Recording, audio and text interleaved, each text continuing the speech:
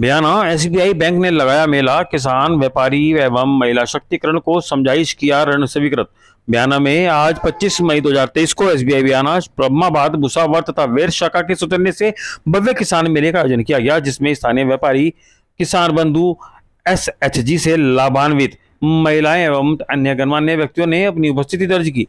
इस कार्यक्रम में श्री शशिनाथ मिश्रा उप महाप्रबंधक प्रशासनिक कार्यालय अलवर, रमेश चंद्र मीना क्षेत्रीय प्रबंधक भरतपुर, मनीष कुमार मुख्य प्रबंधक, साख एनपीए, राजेश कुमार मीना, सहायक महाप्रबंधक, नाबार्ड, बाबूलाल मीना, महाप्रबंधक, जिला उद्योग केंद्र, भरतपुर किशोरी लाल जाटव, जिला परियोजना प्रबंधक आदि लोग उपस्थित रहे। इस कार्यक्रम के दौरान उप महाप्रबंधक एवं क्षेत्रीय प्रबंधक के द्वारा बैंक द्वारा संचालित कृषि संबंधित ऋण योजनाओं, विशेषकर किसान ऋण समृद्धि एवं कृषि आधारित उद्योग ऋण, एआईएल के बारे में विशेष जानकारी के साथ साथ KCC asset bank agri loan tractor loan gold loan SHG loan एवं केसीसी नवीनीकरण एनपीए खातों को ओटीएस के अंतर्गत बंद करने के बारे में विस्तृत रूप से जानकारी प्रदान की गई। इस कार्यक्रम के दौरान चौसठ केसीसी आवेदन पत्र एक करोड़ तेईस लाख के प्राप्त हुए तथा तो दो कृषि आधारित उद्योग ऋण सोलह लाख के प्राप्त हुए। इसी के साथ आज सोलह एसएचजी अस्सी लाख तथा अठारह केसीसी इकतालीस लाख की ऋण स्वीकृति प्रदान की गई गारंटी जो एक न्यूनतम शुल्क लेकर के लोन की एक तरह से भरने की गारंटी दी जाती है। किसी परिस्थितियों में एक तरह से इंश्योरेंस मान लो उसको तो पाँच करोड़ तक की सुविधा इसमें उपलब्ध है। स्टेट बैंक की तरफ़ से यहाँ बयाना में एक किसान गोष्ठी पहली किसान गोष्ठी का आयोजन किया गया है। इसमें मुख्य मतलब उद्देश्य ये था कि सभी लोगों को बैंक की विभिन्न योजनाओं के बारे में जानकारी दी जाए। और साथ में जो कुछ हमारी महिला लाभार्थी सेल्फ हेल्प ग्रुप की थी, उनको ऋण वितरित किए मैं रमेश मीना सहायक महाप्रबंधक भारतीय state bank regional manager Dholpur Bharatpur आज भारतीय स्टेट बैंक के द्वारा बयाना कस्बे के अंदर व्यापारी वर्ग के लिए, फार्मर्स के लिए, महिलाओं एवं अन्य सभी समाज के लिए एक मेले का आयोजन किया गया।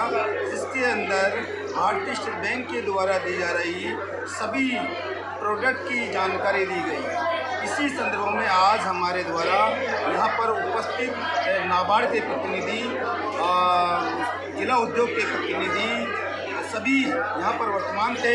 भारत सरकार की योजनाएँ, राज्य सरकार की योजनाएँ और भारतीय स्टेट बैंक की सभी योजनाओं पर विस्तार से हमने प्रकाश डाला।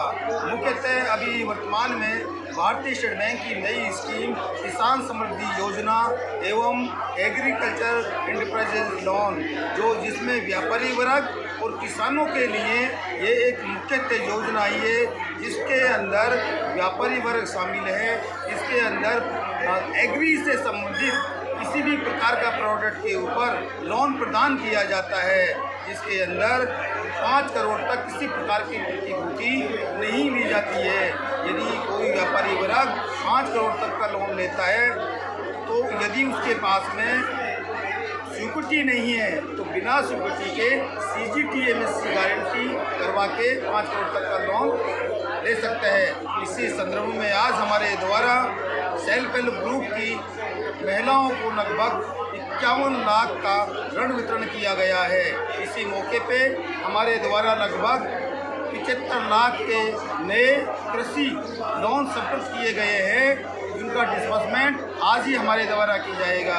मैं जनहित में जनता के लिए भारत सरकार द्वारा P M S G Y योजनाएँ P M S B I योजनाएँ, जो कि भारत सरकार और राज्य सरकार का एक मुख्य केंद्र है कि जनता तक घर घर उनको स्वास्थ्य बीमा योजनाओं का लाभ उनको मिलना चाहिए। इसके संदर्भ में हम दैनिक रूप से कैंपों का आयोजन कर रहे हैं ताकि हर आदमी की को कवर किया जा सके उनका बीमा। को मैं भारत सरकार की योजनाओं के साथ साथ भारतीय स्टेट बैंक की योजनाएँ समय पर अमल हम कर रहे हैं और घर घर तक सभी सुविधाएँ हम हमारे किसान भाइयों को अन्य सभी वर्ग को देने के लिए तत्पर है।